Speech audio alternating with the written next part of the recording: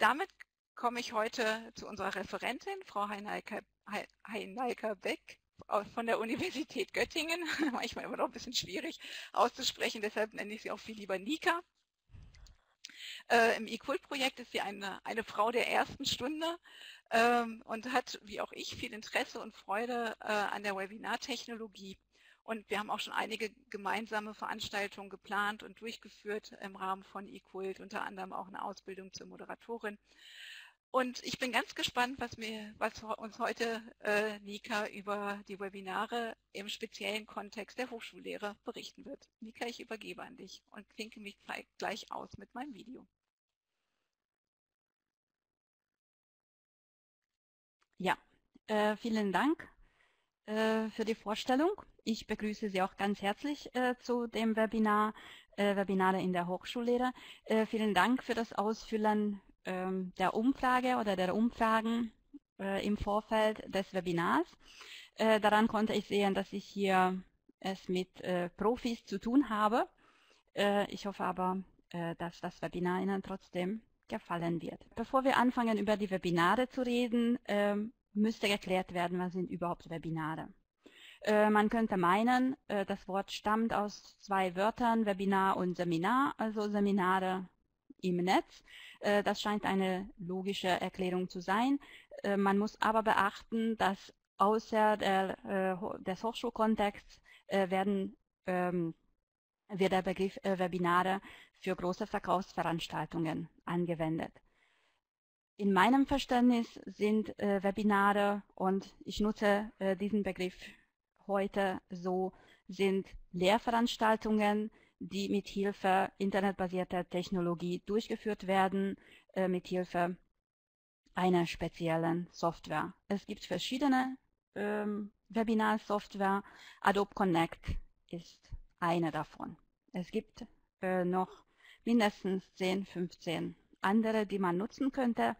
Äh, wir haben aber wir haben uns für dieses Werkzeug entschieden. Wenn man über Webinare spricht, äh, muss man erstmal unter die Lupe nehmen, äh, was kann die Präsenzlehre. Die Universitäten sind heutzutage auf die Präsenzlehre äh, ausgerichtet. Ähm, oft bekomme ich die Frage von Lehrenden ja an der Uni, wozu soll ich etwas online machen, wenn ich das auch Präsenz machen kann. Um zu gucken, wie man Webinare in der Präsenzlehre bzw. in einer Präsenzuniversität einsetzen kann, muss man schauen, äh, was kann man halt in der Präsenzlehre machen. Was zeichnet die Präsenzlehre aus? Unterrichtet man ganz traditionell in dem Klassenzimmer, braucht man keine spezielle Medienkompetenz. Man braucht eine Kreide und eine Tafel. Das ist alles grundsätzlich. Overhead, Projektor und andere technische Geräte sind schön, wenn es die gibt, sind aber keine Notwendigkeit. Die Präsenzlehre hat grundsätzlich keinen Technikbezug oder nur sehr wenig Technikbezug, wie ich das vorhin schon gesagt habe. Wichtig ist, dass Präsenzlehre orts- und zeitabhängig ist. Sowohl der Lehrer äh, oder sowohl der Dozent als auch die Studenten müssen sich an demselben Ort aufhalten, in derselben Zeit Ansonsten funktioniert das nicht. Man kann Präsenzlehre auch aufzeichnen. Das ist schon die Entwicklung äh, der, äh, der, vergangenen Zeiten. Äh, in den letzten Jahren war das schon möglich und es wird auch im Rahmen des ECULT-Projekts daran gearbeitet, äh, dass die Aufzeichnungen einfacher vonstatten gehen. Aber trotzdem braucht man äh, ein bisschen Vorbereitung, wenn man eine Präsenzveranstaltung aufzeichnen möchte. Präsenzveranstaltungen sind traditionell ungefähr äh, schon im Altertum haben die Studenten ähnlich gelernt wie jetzt, wenn man die Präsenzlehre betrachtet. Gut, und dann noch ein Punkt, wenn man in größeren Veranstaltungen, und ich äh, spreche jetzt hier über Vorlesungen mit 200, 300 oder 150 Teilnehmern, äh, dann ist die Aktivierung der Teilnehmer etwas umständlich in der Präsenzlehre. Umständlich bis äh, unmöglich, also ohne Technik äh, fast unmöglich. Das war die Präsenzlehre.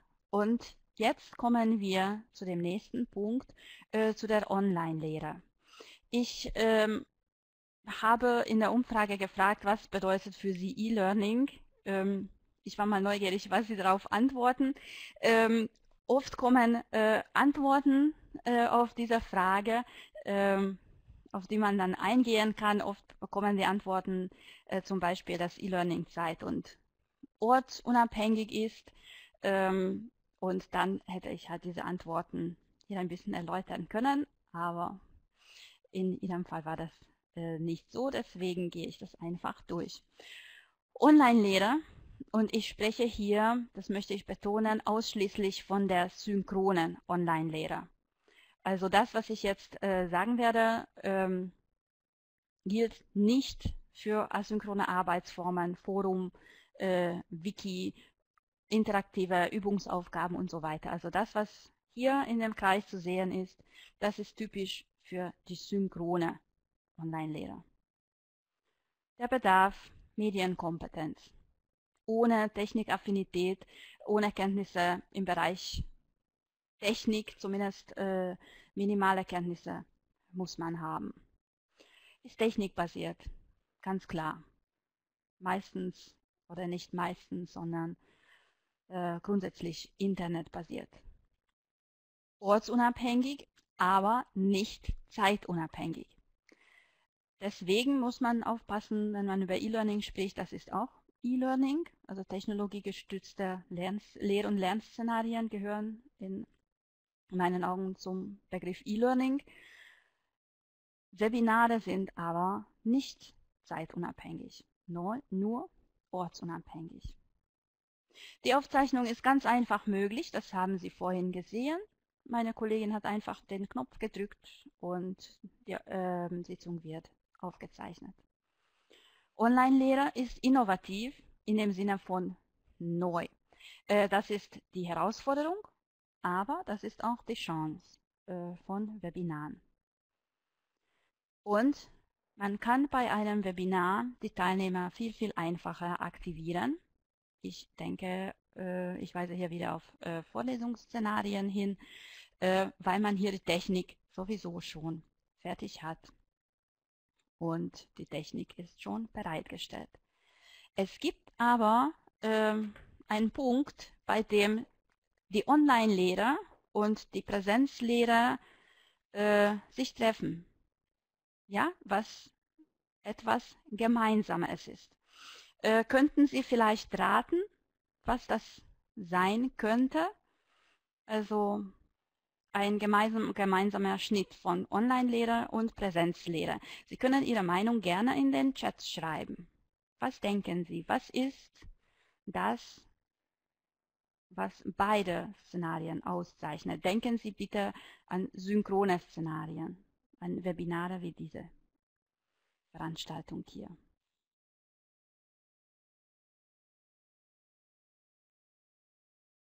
Nun, kommen noch ein paar Meinungen. Wenn keiner mehr schreibt, dann gehe ich weiter und dann schauen, was ich äh, für Sie gesammelt habe in dem Bereich. Gemeinsam ist bei beiden Szenarien, wie das äh, Birgit geschrieben hat, äh, dass beide zeitabhängig sind. Das habe ich hier nicht extra aufgeführt. Ähm, Bedarf an Medienkompetenz. Meiner Ansicht nach äh, braucht die traditionelle Präsenzlehre gar keine Medienkompetenz. Also man kann, man kann lehren, ganz traditionell auch auf einer Wiese. Ja, ähm, online synchron geht das nicht. Da brauche ich einfach die Technik. Das ist ein grundlegender Unterschied. Aber das Gemeinsame an den äh, Szenarien ist, man vermittelt Inhalte live in beiden Szenarien. Es, es ist möglich, persönliche Beiträge äh, von der Seite der Studierenden entgegenzunehmen und das halt gleichzeitig, das so, dass man darauf sofort äh, reagieren kann. Und in beiden Fällen kann man verschiedene Sozialformen äh, einsetzen. Ich muss hier wieder unterscheiden zwischen Seminarsituationen und zwischen Vorlesungen. Bei Vorlesungen ist es ein bisschen äh, komplizierter, Gruppenarbeit zu organisieren. Es ist nicht unmöglich, aber äh, bedarf ein bisschen äh, oder man braucht äh, dazu ein bisschen pädagogischen Geschick. Aber in Seminaren ist es kein Problem. Also äh, bei Lehrveranstaltungen bis 30, 35 äh, Teilnehmern kann man das noch machen. Ja, äh, jetzt äh, gehe ich in Richtung synchrone Lernszenarien. Also jetzt verlasse ich äh, die äh, Präsenzlehre und ich konzentriere mich jetzt auf die Webinare und Lehr- und Lernszenarien in Webinaren, also in äh, technologieunterstützten synchronen Lehrveranstaltungen. Hier kann man auch äh, verschiedene Stufen äh, unterscheiden und man kann ganz traditionelle Webinare machen. Ganz, ganz einfache, äh, wo, äh, wo das Niveau und die Schwelle sehr, sehr niedrig ist. Sowohl für, für den Dozenten als auch äh, für die Teilnehmer des Webinars. Äh, so ein Szenario wäre ein Online-Vortrag. Das, was ich hier mache. Hätte ich keine Umfragen eingeblendet oder hätte ich Sie nicht aufgefordert, etwas in den Chat äh, zu schreiben, dann wäre dieses Webinar ein reiner Online-Vortrag und ich würde einfach nur über ein PowerPoint erzählen, ohne äh, dass ich von den äh, Teilnehmern Rückmeldung erwarten würde. Das ist sowohl technisch als auch didaktisch eine niedrige äh, Schwelle, äh, und ähm, sehr empfohlen für Webinaranfänger, die noch nie Webinare gemacht haben, sich in der Moderation noch nicht so sicher fühlen. Äh, für die ist das eine Form, äh, bei der man gut üben kann. Man kann das auch umdrehen. Ja, Webinare äh, kann man äh, gezielt durchführen für Studierende, für Teilnehmer, aber äh, die Studierenden können diese Werkzeuge auch zum Lernen nutzen und sie können äh, synchron zusammenarbeiten als eine Lerngruppe. Äh, das haben wir hier an der Universität auch schon mal probiert. Ähm, einfach ist es nicht, äh, die Studenten dazu zu bewegen. Die Technik äh, ist für sie auch ein bisschen neu, aber wir haben Schulungen gemacht und es gibt schon welche, die das ausprobieren und äh, sich in den Raum einloggen und dort arbeiten. Es gibt aber auch sehr ausgefeilte Lehr- und Lernszenarien. Es hängt immer von der Technik ab.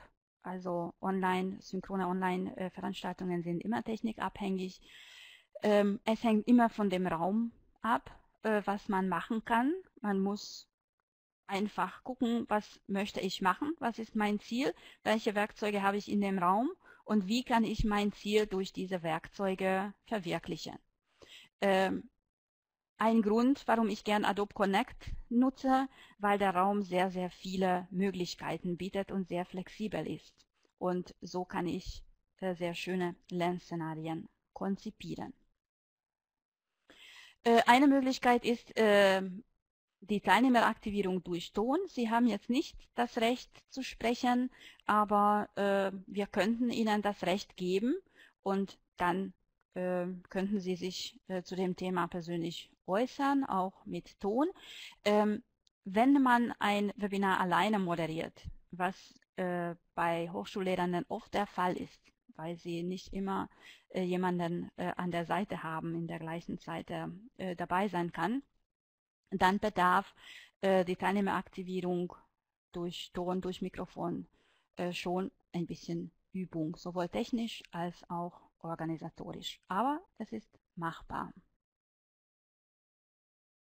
Und Äh, Adobe Connect ist dazu dafür auch geeignet. Es gibt auch andere Räume, die dafür geeignet sind. Äh, man kann auch sehr wohl Gruppenarbeit organisieren.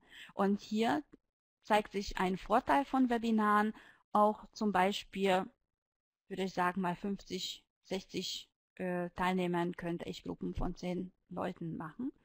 Und dann könnte ich halt äh, Gruppenarbeit durchführen online, was ich in einer Präsenzveranstaltung nicht so einfach machen könnte.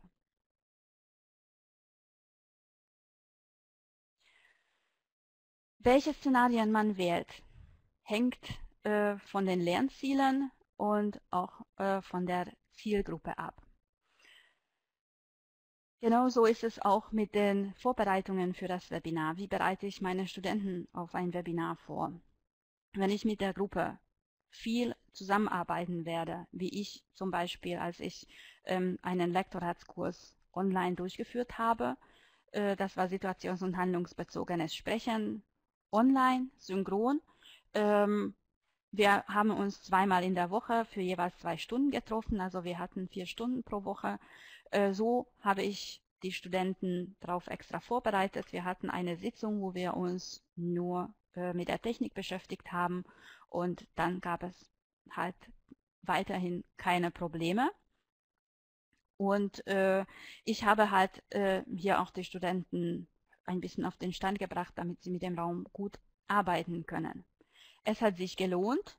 Meine Zielgruppe Studenten äh, hat äh, diesen Schritt gemacht und es hat gut funktioniert.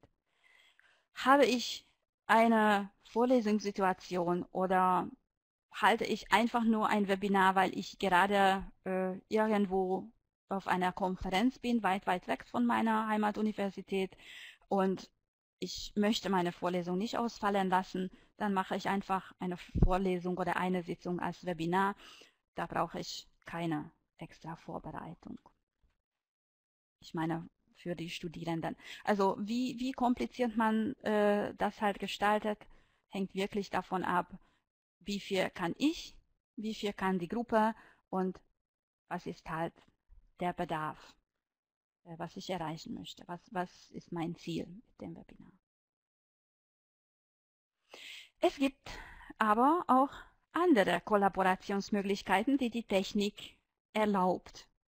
Also nicht nur Vorlesung, nicht nur Seminar, Webinare, Webinare, die Seminare sind mit äh, Aktivierung, mit Ton, äh, mit Scheiben auf das Whiteboard und so weiter, sondern man kann zum Beispiel auch Sprechstunden online anbieten. Das ist auch eine Möglichkeit. Ja, man sagt einfach die Zeit, wenn man online ist und dann können sich die Studenten einloggen und äh, sie können Hilfe holen, wenn sie das brauchen. Und ein spezielles Szenario ist äh, für Webinare, äh, ist eine Konferenz. Äh, Sie werden Ausschnitte sehen oder einen kleinen Ausschnitt äh, sehen aus dieser DAF äh, Webcon Konferenz. Das ist eine Konferenz für Deutsch als Fremdsprache. Ähm, die, sie dauert immer drei Tage lang, Freitag, Samstag und äh, Sonntag äh, findet das statt, 6., 7., 8. März äh, war das dieses Jahr und die Konferenz läuft ausschließlich online und von morgens 10 Uhr bis abends 22 Uhr laufen die Vorträge in drei Parallelräumen. Das ist auch ein äh, Szenario, äh, das man mit Hilfe dieser Webinartechnologie äh, durchführen kann und durchspielen kann. So, jetzt habe ich Ihnen ein paar Dinge erzählt über Webinare und jetzt möchte ich äh, Sie wieder ein bisschen aktivieren, äh, damit die Sitzung ein bisschen spannend wird und ich frage Sie danach,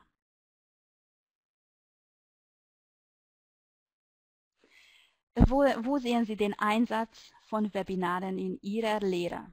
Können Sie sich das vorstellen, dass Sie Webinare irgendwo einsetzen? Wenn ja, dann wo, in welchem Bereich? Oder Sie sehen das so, dass Sie sich das gar nicht vorstellen können? Und meine zweite Frage bezieht sich auf die Risiken der Webinare. Wie sehen Sie die Risiken anhand dessen, was ich Ihnen erzählt habe und anhand Ihrer Erfahrungen, die Sie bereits haben, wie ich das am Anfang erfahren durfte. Also, ich bitte Sie um Mitarbeit. Dankeschön.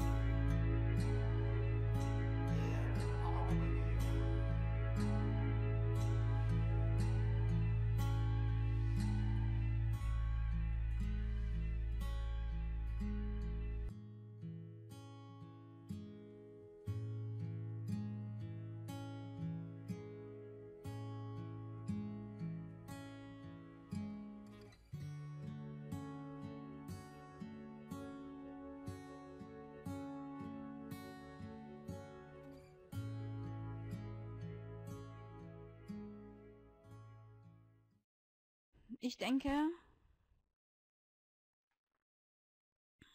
es gab jetzt äh, genug Zeit für Ihren Beitrag. Ja, vielen Dank, äh, dass Sie mitgemacht haben. Ähm, ich habe ein paar Punkte für mich notiert äh, aus Ihren Antworten. Also wie könnte man, wo konnte man ähm, das nutzen, äh, diese Technologie äh, bei Weiterbildungen. Ja, hochschulübergreifend, äh, länderübergreifend äh, kann man das machen. Man kann auch Experten einladen, die weit, weit weg sitzen, äh, die man dann nicht bezahlen könnte, wenn die hierher fliegen müssten aus anderen Ländern. Aber durch diese Technologie ist es möglich, äh, sich mit ihnen auszutauschen. Ähm, Seminare kann man sehr gut in Webinarform halten. Ich möchte Ihnen zwei Beispiele nennen, die bereits durchgeführt wurden. Ähm, das ist mein Kurs, Situations- und Handlungsbezogenes Sprechen online. Vier Semester lang äh, wurde das Seminar angeboten und die Studenten haben das dankend äh, angenommen. Der Mehrwert für sie war äh, damals, dass das Webinar in einer Zeit angefangen hat, in der normalerweise kein Unterricht mehr stattfindet. Also das Seminar stattfand von 8 Uhr bis 9.30 Uhr statt und das halt am Abend von 20 Uhr bis 21.30 Uhr. Und die Studenten, die an diesem Seminar teilgenommen haben, waren Doktoranden in erster Linie, die in verschiedenen Laboren gearbeitet haben und äh, die ihre Versuche nicht unterbrechen konnten. Und so konnten sie parallel arbeiten und auch ihre Versuche verfolgen. Manchmal haben sie gesagt, äh, Entschuldigung, ich bin für zwei Minuten weg, ich muss äh, meine Mäuse gucken, ob die noch leben. Ähm, eine andere eine andere, ähm, ein anderes Szenario war äh, von einem Kollegen äh, von der Medizin. Er hatte seine Lehrveranstaltungen, aber er hat in einer anderen Stadt gearbeitet. Er hat Pathologie unterrichtet und er hat mit den Studenten sogar ähm, solche Übungen gemacht, dass er sein Mikroskop, das Mikroskopbild auf den Bildschirm gezaubert hat hier im Adobe Connect und dann mussten die Studierenden mit den Markierwerkzeugen äh, bestimmte Stellen markieren, die er äh, angefragt hat. Also es war auch eine äh, spannende Geschichte. Man kann äh, Webinare auch, äh, wie Sie das notiert haben, auch zur Organisation nutzen, Projektsitzungen, äh, zusätzliche Sitzungen, äh, Gremienarbeit. Dafür habe ich auch ein Beispiel. Ein Kollege macht das jetzt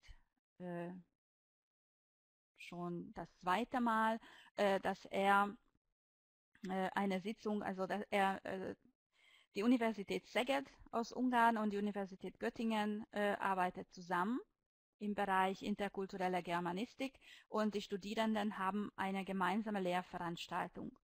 Äh, in einem Jahr fahren die Deutschen nach Ungarn und in dem anderen Jahr äh, fahren die Ungarn nach Deutschland. Die Studierenden tauschen sich aber halt via Adobe Connect aus und der Kollege organisiert das Seminar auch durch Adobe Connect. Da melden sich die Studierenden von Deutschland aus an und auch von Ungarn aus und dann gibt es halt die Organisation der Arbeit. Ja, Risiken äh, der Webinare. Ähm, fehlende Aufmerksamkeit der Teilnehmenden. Das stimmt einerseits.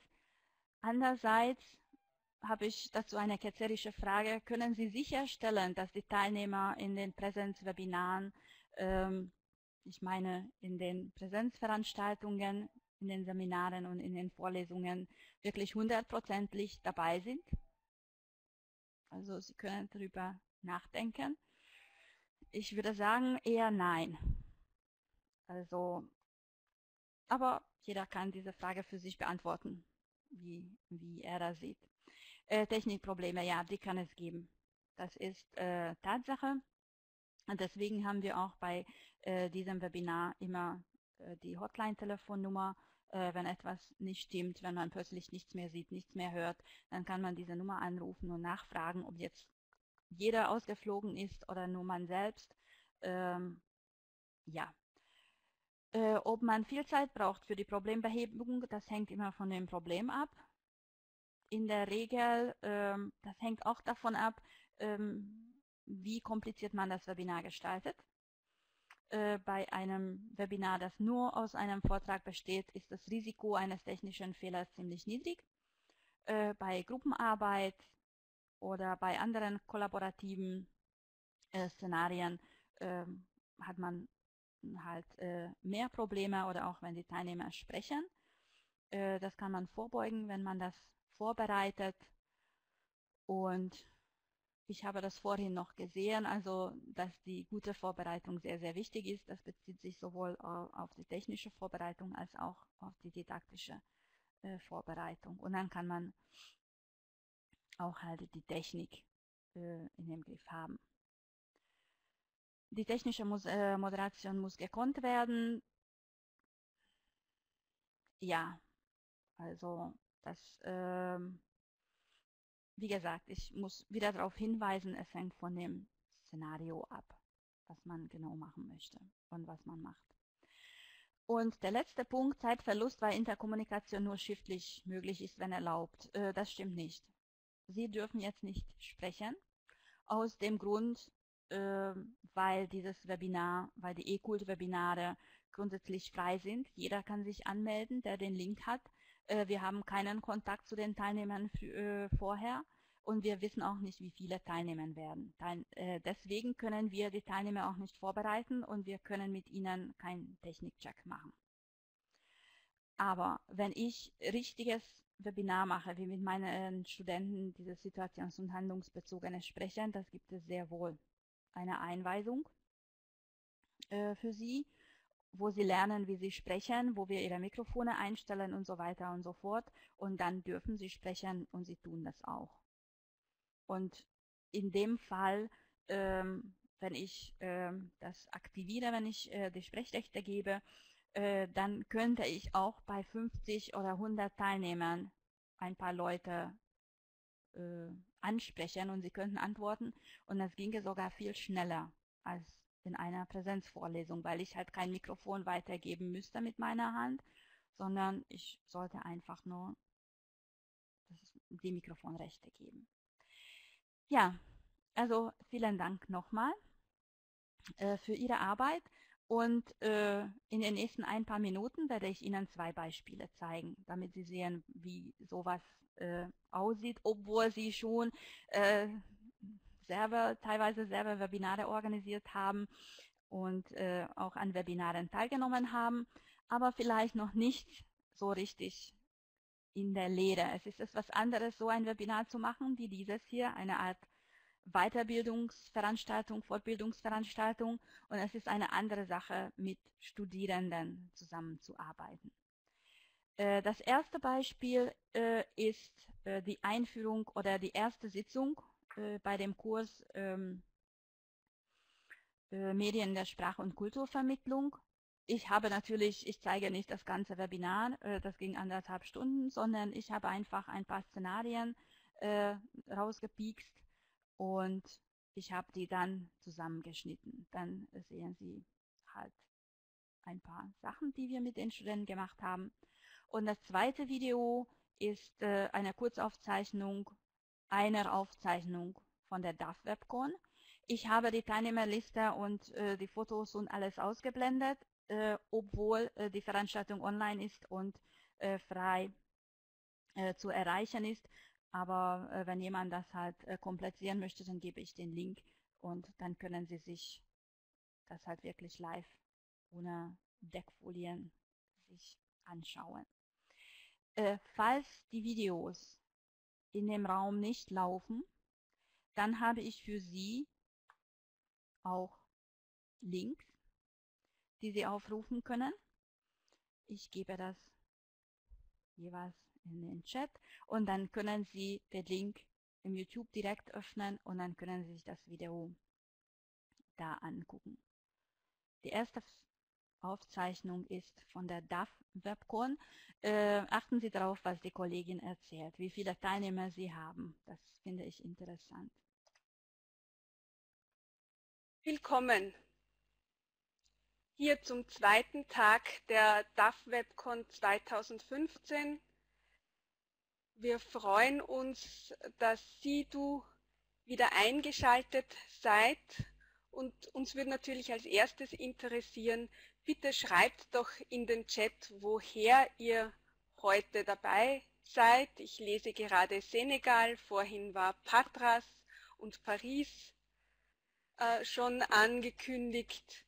Claudia sagt, bei uns ist es 2 Uhr in der Nacht. Wo ist es denn 2 Uhr in der Nacht?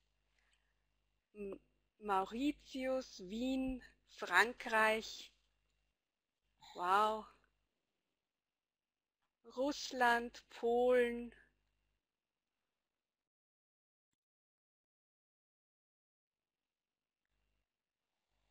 Bosnien. Ah, ja. Sehr schön.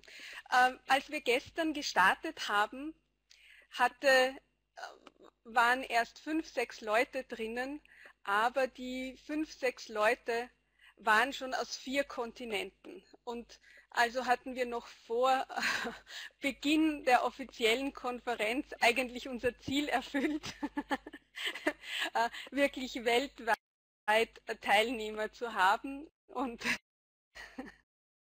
während des Nachmittages waren wir bis äh, zu 130 Personen, die gestern am Freitag zugehört haben. Also wir sind jetzt, was die Menge und die die Orte, aus denen die Teilnehmer kommen, schon einmal sehr zufrieden.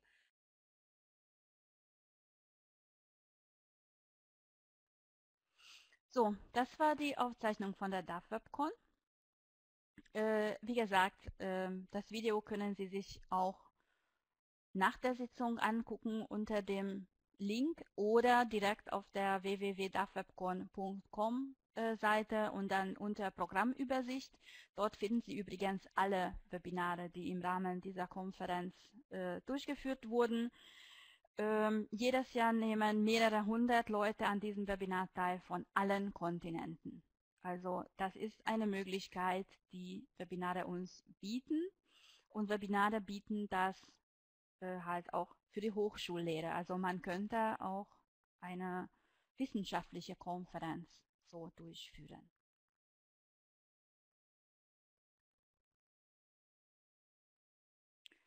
Das zweite Beispiel ist genau. jetzt äh, das Seminar äh, Medien in der Sprach- und Kulturvermittlung. Und ich starte jetzt auch diese Aufzeichnung. Hier haben Sie den YouTube-Link dazu. Ich kopiere das gleich in den Chat.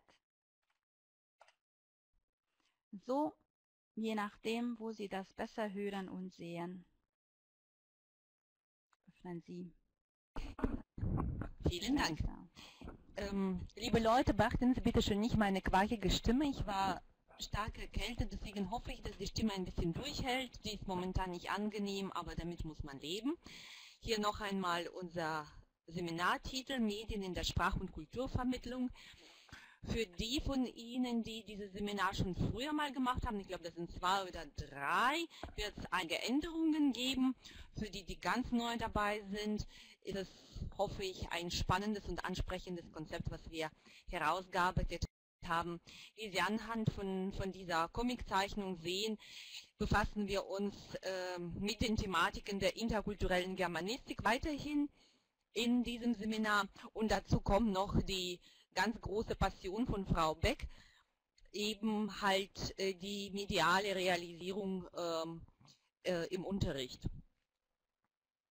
Also das ist unsere Veranstaltung. Im Forum habe ich noch nichts eingerichtet. Äh, wir werden hier auch ein paar Themen angeben, wo Sie halt ähm, strukturiert diskutieren können. Äh, wenn Sie mit den Begriffen oder mit der Arbeit Probleme haben, Sie können auch Fragen stellen und so weiter.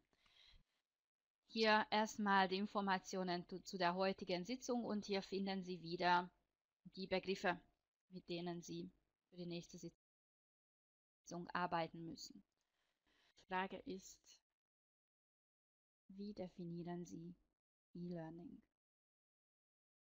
Und alle Teilnehmer haben jetzt abgestimmt und theoretisch sollten sie jetzt auch die Antworten sehen. Ich finde die interessant.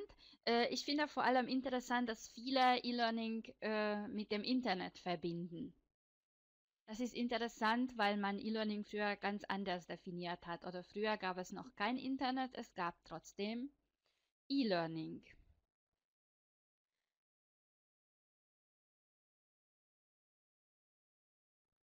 So, das war der kleine Ausschnitt aus der Veranstaltung. Äh, wie Sie das sehen konnten, äh, gab es einmal die Einführung, äh, wie werden wir halt im Seminar arbeiten. Äh, danach habe ich äh, den Studierenden das Werkzeug vorgestellt, äh, StudIP, das äh, ging durch Bildschirmfreigabe. und danach ging es in das Eingemachte, also in die Theorie und ähm, danach in die Praxis. Das war eine Blended Learning Veranstaltung. Äh, wir haben uns mit den Studenten zweimal online getroffen und zweimal Präsenz und danach kamen sehr schöne Materialien äh, raus am Ende dieser Veranstaltung. Es hat also funktioniert. Grundsätzlich kann ich anhand meiner Erfahrungen sagen, dass Webinare sehr wohl gleichwertig sein können wie Präsenzveranstaltungen. Man muss aber immer gucken, was ist der Mehrwert davon, dass man die Veranstaltung online macht. Im Falle meiner Studierenden war der Mehrwert die Zeit. Diese Studierenden hätten keinen anderen Kurs belegen können. Äh, bei der anderen Veranstaltung war der Mehrwert, dass meine Kollegin in München lebt und zwei kleine Zwillinge hat. Das heißt, sie kann nicht jederzeit nach Göttingen reisen. So haben wir halt die Entfernung überbrückt.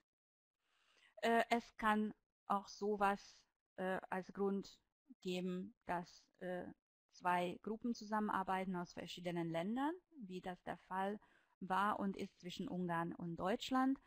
Also wenn dieser Mehrwert, wenn irgendein Mehrwert gegeben ist, dann lohnt es sich, Zeit in ein Webinar zu investieren und dann ist das sehr wohl gleichwertig wie eine traditionelle Präsenzveranstaltung. Und jetzt äh, geht es ein bisschen in Richtung Technik und äh, in Richtung Adobe Connect. Äh, wie ich das Ihnen schon äh, gesagt habe, es gibt auch andere Räume, es gibt sehr viele Räume. Wir arbeiten hier an der Universität Göttingen und im eCult-Projekt mit Adobe Connect. Ich mag dieses Tool und ich bevorzuge dieses Tool äh, wegen den Möglichkeiten, die es bietet. Aber gucken wir mal einzeln ein paar Highlights, die interessant sind vom Adobe Connect. Eine Möglichkeit ist ähm, diese Feedback-Funktion. Äh, die Teilnehmer können äh, während der Sitzung Hinweise geben, äh, dem Moderator Hinweisen geben und der Moderator kann dann das Webinar bzw. das Sprechtempo anpassen, je nachdem, was die Teilnehmer halt anklicken. Und es ist auch gut, das ist ein schönes Zeichen. Ich mag das, wenn meine Teilnehmer das nutzen in Lehrveranstaltungen, das hier. Wenn das Telefon plötzlich klingelt, wenn man ein Glas Wasser holen möchte und so weiter, dann klickt man auf dieses Zeichen und dann sieht man, dass man die Person nicht anzusprechen braucht. Also diese Feedback-Funktionen ersetzen die mm, äh, Metakommunikation quasi, die definitiv fehlt. Ja, der Chat, den haben Sie kennengelernt. Chatman äh, kann man ganz normal nutzen zur Kommunikation, aber man kann Chat auch didaktisch einsetzen. Ähm, ein Beispiel äh, sehen Sie, ähm, am Ende dieses Teils werde ich äh, den Link geben auf der Seite der Adobe Connect äh, Dach-Wiki unter Seminar Szenario 1. Äh, das ist auch ein Ausschnitt aus dieser Veranstaltung Medien in der Sprach- und Kulturvermittlung. Dort haben wir den Chat äh, zur Vorstellung genutzt. Also den Chat kann man hier im Adobe Connect sehr gut auch zu didaktischen Zwecken nutzen. Man hat ein Schreibwerkzeug. Die Teilnehmer können an das Whiteboard schreiben und das gleichzeitig. Das funktioniert. Man kann auch andere Zeichen setzen. Das war, dieses Werkzeug hat es ermöglicht, dass der Kollege in der Pathologie halt die Mikroskopbilder markieren lassen konnte. Und hier äh, dieses Werkzeug im Einsatz und äh, zwar aus einem E-Kult-Webinar sogar. Also das war noch in, im Sommer, denke ich, äh, im letzten Jahr. Die Teilnehmer haben markiert, aus welchen Städten sie kommen. Das sind alles Möglichkeiten ohne Tonaktivierung. Ja, hier sehen Sie die Umfrage, äh, die Sie auch gemacht haben und die Sie vorhin auch live im Einsatz sehen konnten. Das war eine Umfrage, wo die Teilnehmer jeweils eine Zeile als Antwort eingeben können und konnten. Ja, hier ist wieder ein Ausschnitt aus einem E-Kult-Webinar. Hier nutzte die Kollegin mehrere äh, Umfragen auf einer Seite, das haben Sie auch kennengelernt äh, vor der Sitzung. Äh, das ist auch eine sehr schöne Möglichkeit für die Aktivierung ohne Ton. Also da sind schon mal ganz, ganz viele Möglichkeiten, wie man Teilnehmer ohne Ton aktivieren kann. Ja, und ich bin äh, am Ende angekommen. Vielen Dank für Ihre Aufmerksamkeit. Äh, falls Sie Fragen haben, bin ich gerne dabei und ich antworte Ihnen. Gut, ähm, ja, dann möchte ich Ihnen ganz herzlich danken für Ihre Aufmerksamkeit, Nika, für die interessante Präsentation und die Kontaktdaten, die E-Mail-Adresse stimmt, die Telefonnummer stimmt nicht, wie mir Nika gerade gesagt hat. ähm, von daher bitte nur die E-Mail-Adresse nutzen und nicht die Telefonnummer. Gut, dann können Sie sich einfach rausklicken. Das Webinar ist beendet. Einfach oben rechts über das Kreuz das Fenster schließen und dann sind Sie. Und wir würden uns natürlich freuen, wenn Sie beim nächsten Mal wieder dabei sind. Ja, danke schön. Tschüss.